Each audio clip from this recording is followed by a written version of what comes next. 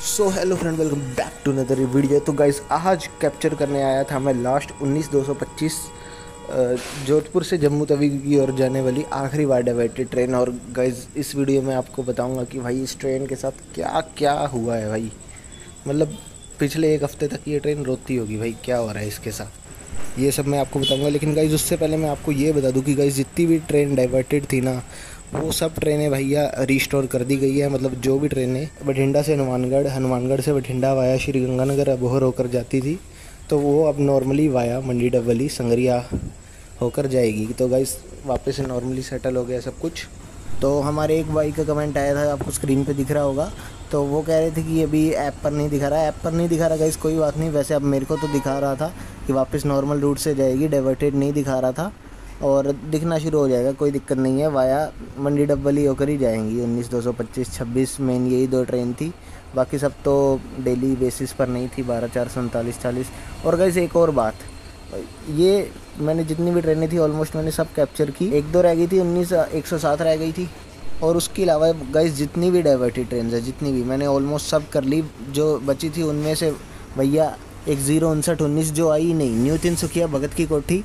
भाई, छब्बीस तारीख को चलनी थी मेरे ख्याल से, उनतीस या तीस को पहुंचनी थी। और गाइज़ वो ट्रेन मेरे हिसाब से कैंसिल ही हो गई। अब मेरे को रीज़न नहीं मालूम ऐप पर मेरे को नहीं दिखा रहा गाइज़ और ना ही वो आई। और उसकी डाउन ट्रेन जो भगत की कोटी से न्यू तीन सुखिया जानी थी ज़ीरो उनसठ बीस। और ये ट्रेन आपकी स्क्रीन पर मैं दिखाई रहा हूँ और ये भी नहीं चली भाई। पता नहीं क्या सीन हुआ मतलब कुछ ऐप पर दिखाई नहीं रहा। तो गाइज़ मैंने इतना डिटेल में जाने की कोशिश नहीं की। भैया कैंसिल वगैरह होगी होगी। कुछ सीन हुआ होगा। तो चलिए, ये था गाइज़ मतलब ख़त्म हो गया भाई। अब डाइवर्जन नहीं रहेगा। पता नहीं कब मेरे को स्किप रिकॉर्ड करने को मिलेंगे। और ये वीडियो जो आप सामने देख रहे हो गाइज़ ये भी आ रही है आपके सामने। उन्नीस दो सौ पच्चीस जो मैंने एक बार भी कैप्चर नहीं की थी, ये मेरा फ़र्स्ट कैप्चर था। और गाइज़ फ़र्स्ट होने के साथ साथ ही आखिरी डाइवर्टेड ट्रेन भी थी उन्नीस दो सौ पच्चीस, जो कि आपने टाइटल में पढ़ी लिया होगा। इसके बाद तो आपको पता है सब नॉर्मल रूट से चलेगी। और गाइज़ अगली बात मैं आपको बताऊँ कि ये गाड़ी के साथ जो हुआ ना, देखिए गाइज़ अब मैप में आप देखिए, हनुमानगढ़ से इसे चार बजे डिपार्ट करना होता है। लेकिन गाइज़ इसे डिपार्ट करवाया चार चालीस पर, क्योंकि उसका कारण ये था रिवर्सल भी लेना होता है तो और आगे कोई ट्रेन चल रही होगी, इसलिए उस टाइम डिपार्ट करवाया। फिर ये पहुँची श्री गंगानगर गई श्री गंगानगर इसने पहुँचने में लिए होंगे ज़्यादा से ज़्यादा चालीस मिनट। सड़सठ किलोमीटर की दूरी है नॉन स्टॉप जाना है। चालीस किलोमीटर का चालीस मिनट का टाइम लेगी। तो पाँच बीस पर भाई ये पहुँच गई थी, लेकिन साढ़े पाँच चलना था ज़ीरो सैंतालीस छप्पन को। अब श्री गंगानगर वालों का इतना दिमाग तो सही नहीं है कि उसको पहले चला दे, अभी पहले चलाएँगे वो ज़ीरो सैंतालीस छप्पन को, जो कि श्री गंगानगर से बठिंडा पैसेंजर ट्रेन है, बट वो भी कोई दिक्कत नहीं है। इस पैसेंजर ट्रेन है तो लेकिन सेक्शन की मेन ट्रेन है, उसे पहले चला जाए। लेकिन पहले चलाकर भी, ये देखिए मैप में आप देख रहे हैं, इसे पंचकोसी लाकर खड़ा कर दिया भाई। मतलब उन्नीस दो सौ पच्चीस की बात कर रहा हूँ, उन्नीस दो सौ पच्चीस को भैया पंचकोसी खड़ा कर दिया, और जो कि उसके पीछे चल रही थी, खड़ी होनी थी, लेकिन उसके बाद उसे सिग्नल कब दिया? इस साल, नहीं, अगले साल। ठीक है, आपको लग रहा होगा मैं बकवास कर रहा हूँ, पर देखिए भाई आगे इस ट्रेन के साथ क्या हुआ। तो जैसे कि इसके आगे पैसेंजर ट्रेन चल रही है, जो कि अबोहर में अराइव करती है। अबोहर में अराइव करने के बाद भाई वो सीधा नहीं चलती, क्योंकि उसे सामने से वेट करना होता है। वो बात अलग है सिंगल लाइन मजबूरी है उसकी। और चौदह पाँच सौ जो है, बठिंडा श्रीगंगानगर इंटरसिटी आपके सामने लिखी आ रही होगी। तो गाइज़ ये ट्रेन पहले से ही वेट कर रही होती है, फिर इसे डिपार्चर फाइनली मिलता है और आगे जाके इसकी उन्नीस दो सौ पच्चीस से पंचकोसी में क्रॉस करती है। और उसके बाद भैया आगे। इस टाइम बहुत ट्रैफ़िक होता है अबोहर में इसके बाद एक और ट्रेन ज़ीरो सैंतालीस सौ दो बठिंडा साइड से आती है लालगढ़ अबोहर वो छः सतावन पर अबोहर में अराइव करती है। और उसके बाद ही ज़ीरो सैंतालीस छप्पन को चलाया जाता है। और भाई इसके बाद देखिए पंचकोसी में हमारी उन्नीस दो सौ पच्चीस को खड़ा कर रखा है। अब उसे चलाया जा सकता है। अब उसे चला के अबोहर ले आए। अबोहर सात बजे तक अबोहर पहुँच जाएगी आराम से छः चालीस पर चला देते तो। और पहले ही पहुँच जाती मैं भी और उसके आगे चला लेते ज़ीरो सैंतालीस छप्पन पैसेंजर जो चल रही है चल रहे, पंद्रह मिनट बाद फिर उसको भी चला देते हमारी उन्नीस दो सौ पच्चीस को, पीछे पीछे। लेकिन इन्होंने क्या किया, इन्होंने पंजी को सी खड़ा रखा है भाई।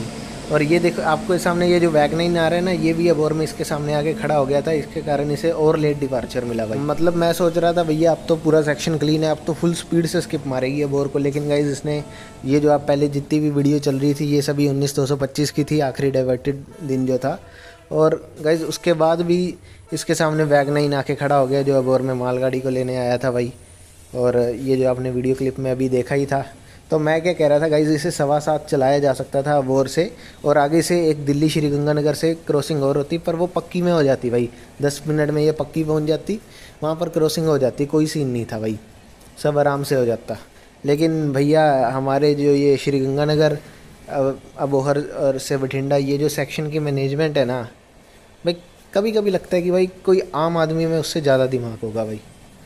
भाई मतलब इतनी लॉजिकलेस चीज़ें कर रहे हैं भाई जो ट्रेन भाई फालतू में खड़ा रखी है यार मतलब उसे कि, कितनी देर पहले बठिंडा पहुँचाया जा सकता है पहले ही वो लेट चल रही है गाइस चार बजे उसे हनुमानगढ़ से निकलना होता है पहले वो चार पिचपन पे निकली फिर उसके बाद उसे पैसेंजर के पीछे चलाया श्री गंगानगर से और उसके बाद भैया वो घंटों से खड़ी है लेकिन अभी भी उसे और भाई और लेट किया। अभी सुनिए आगे इसके साथ भाई क्या मैं कह रहा हूँ ना अबोहर ला के खड़ी कर देते। इन्होंने अबोहर तो छोड़ो इन्होंने पंजगोसी में खड़ी कर दी और वहाँ पर भाई पैसेंजर्स के साथ क्या हालत हुई होगी? देखिए, वहाँ पर मेरे हिसाब से भैया पानी भी नहीं मिलता। मैं एक बार गया था गई जैसे स्टेशन स्टेशन पर पानी भी अवेलेबल नहीं होता। अबोर में, चलो, पानी मिल जाता है, जैसा भी हो। और जो ट्रेनें अबोर में प्लेटफॉर्म पे होल्ड करती हैं, उनको तो स्पेशली पानी पिलाया जाता है। जिन्होंने ट्रैवल किया होगा, उनको मालूम होगा। और भाई ऐसे नहीं तो इनको एटलीस्ट बिजलेरी की बोतल किसी शॉप से मिल जाती। और भाई, देखिए मतलब पानी नहीं होगा। भाई, ऐसी जगह पे खड़ा कर दिया। तो भाई मेरे को तो इनकी समझ नहीं आती भाई ये कौन से सस्ते नशे करके मैनेज कर रहे हैं सेक्शन को। तो खैर, छोड़िए, बहुत रोस्ट मार दिया इस सेक्शन का। और, इसके बाद भैया, देखिए छः छः साढ़े छः लाख के खड़ी कर दी थी। उसके बाद भैया साढ़े आठ अबोर पहुँची। दो घंटे लिए भाई अबोर पहुँचने में। चौदह किलोमीटर के लिए दो घंटे ले रही है ट्रेन और गाइस आगे का जो डिस्टेंस बचा है, तिहत्तर किलोमीटर। गाइस तिहत्तर किलोमीटर को नॉन स्टॉप अगर चले तो कवर करने में लगते हैं ऑलमोस्ट पचास मिनट। पचास मिनट से भी कम टाइम में कर देती है, लेकिन अपने सेक्शन की लिमिट कई जगह सौ है, कई जगह एक सौ दस। तो पचास मिनट पकड़ के चलते हैं। कई बार तो भैया मैं सुबह जाता हूँ ना श्री गंगानगर ऋषिकेश इंटरसिटी पे तो वो पिचपन छप्पन मिनट में दो होल्ड के साथ पहुँचा देती है भाई। मलोड की दड़वा रुक के भी पहुँचा देती है। खैर, वो सब हटाइए। हम अभी इसी ट्रेन की बात कर रहे हैं, उन्नीस दो सौ पच्चीस की। गाइज़ ये साढ़े आठ से आठ पैंतीस के बीच में निकली थी, अब और से, और इसे भाई गाइज़ मैक्सिमम टाइम लगना चाहिए था, एक घंटा, और क्रॉसिंग भी पड़ जाती है रास्ते में। तो गाइज़ लेकिन आपको क्या लगता है, इतनी आसानी से बठिंडा पहुंचाएँगे क्या? नहीं भाई सेक्शन की ट्रेन नहीं है, ये तो डाइवर्टी ट्रेन है। हाँ थोड़ी सी इधर भी लेंगे इसकी। भाई, मुझे तो लगता है रास्ते में मालगाड़ी वालगाड़ी होगी, जिसे इसके आगे चलाया होगा, और उसके बाद भाई इसे रास्ता दिया होगा।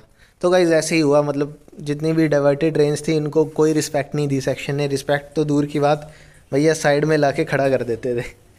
तो गाइज़ मतलब बहुत कुछ हुआ है। तो खैर छोड़िए गाइस अब तो डाइवर्टेड ट्रेनें बंद हो गई। तो खैर इस वीडियो में इतना ही है। तो मिलते हैं किसी और वीडियो में, तब तक के लिए